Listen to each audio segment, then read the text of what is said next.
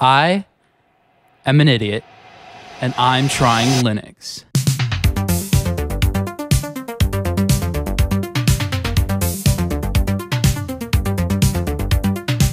So, for over a week, I've used Linux for work and gaming, editing, everything else, right?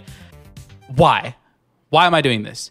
Uh, and it's because I'm obsessive over keeping things neat and bloat free, uh, which Windows has not been doing. I hate Windows. There is an ungodly amount of bloat and AI garbage that gets in the way of peak performance and usability. And yeah, I've run debloaters, but the essential bloat still stays and it slows down everything. Not just that, but the UI and UX both add friction to the simplest of tasks. Why do I need to press a million buttons to do everything? But I can't give up Windows.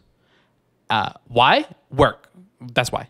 Uh, for those of you who are watching and don't know, I do work on the Roblox platform as a developer for various games. I generalize, meaning I do a bunch of different things, such as programming, music, UI, whatever. But that also means I have a lot of programs that require Windows it's pretty important that I do essential tasks so that, you know, I can pay for rent and food. Fortunately, Linux distros often support a compatibility layer called Wine, which means you can run Windows programs on it. How good, though, is what I have to find out. So fuck it, we ball. Let's give Linux a try since everyone using it says it's good. After spending some time installing it on both my laptop and PC, I'm greeted with this simple but beautiful interface. It's clean, it's awesome, it's smooth, and best of all, it's swaggy. I cannot describe in words how much I love this UI from the actual usability of it to the aesthetics. And also, side note, uh, I'm using Ubuntu, which is a specific Linux distro. All Linux distros look different and it's it's pretty highly customizable, uh, which is dope just to have at your fingertips. Um, you can replace the UI, you can integrate various tools and so much more, all through the terminal. Yeah, the terminal. Uh, let's talk about that.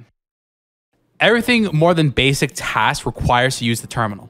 Downloading stuff, customizing, everything is done through the stupid, stupid terminal.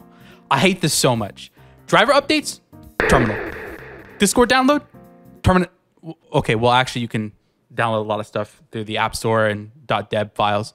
But UI updates, terminal. Wine, terminal. Configuration, terminal. Don't get me wrong, the terminal is super convenient at times, and sometimes doing things like installing programs is actually easier and faster through the terminal. But my God, I just want to click button and button puts colorful icon on my screen, which I can click for more colorful and brain rotted programs. This is probably the single biggest thing that's keeping the average user from using Linux. Graphical interface is key to gaining OS market share most people use computers for just basic tasks, such as web browsing, emailing, and document editing. If the GUI can be enough to get users to that point without opening the terminal, then it'd be awesome. For a lot of you that don't know, Linux Mint is the closest we have to that sort of thing, but it's not perfect for those users. But whatever, it's fine. And it's time to download Roblox and Roblox Studio for work. Uh, one problem though, Roblox isn't supported on Linux, and actually Roblox kind of hates Linux. Fortunately, we have Sober and Vinegar. Sober runs the Android version of Roblox on PC. It's not quite an emulator to my understanding, it's more like a compatibility layer similar to Wine. It works fine after a couple tweaks, aside from highlights and shadows sometimes looking lower detail. Vinegar is a wine wrapper that runs the Windows version of Studio, since Studio does not have the Hyperion anti-tamper software that prevents usage of Linux. So let's just open up. Oh don't worry though, we can fix that with a bit of config, kind of. Also, the code editor just looks awful. That's okay though. To go over my objectives, here's what I need to use for work without issues. I need to use Roblox, Roblox Studio, FL Studio, Figma, Vegas Pro Edit 21, Blender, Visual Studio Code with Wally and Rojo, SourceTree, Git, Discord, and ShareX. Blender, Visual Studio Code, Git, and Discord all have Linux native versions that run really well without issue, kind of. Uh, let's start with Discord.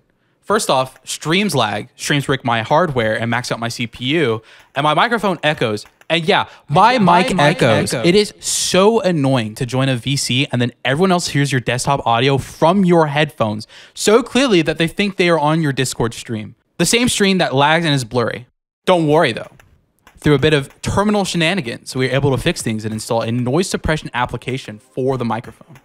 Oh, and I just want to throw in that but audio interface drivers and software also don't support Linux. Um, so yeah, that sucks. It's okay though. We got it all working. I just need to get to work. So let's open Visual Studio Code. Awesome. Let's just download Rojo and what? Oh. Don't worry though, for the terminal we fixed it. One other problem with Git stuff I ran into earlier is that neither GitHub Desktop nor SourceTree supported Linux, and I couldn't get them to work. I usually use SourceTree instead of, you know, the terminal or whatever to do Git stuff because I'm dumb. And so to get around this, I do version control via Visual Studio Code itself, but I, I don't know, I just don't like it nearly as much. It's okay though, anything to avoid the terminal. So, so far we got Blender, the Git workflow, Discord, and Studio mostly working. So let's make some UI for work. One big problem though is that Figma, at least the downloaded version, just straight up does not work on Linux. It's not supported. You can't use Wine. Figma Linux, which is like a community made thing, just sucks ass.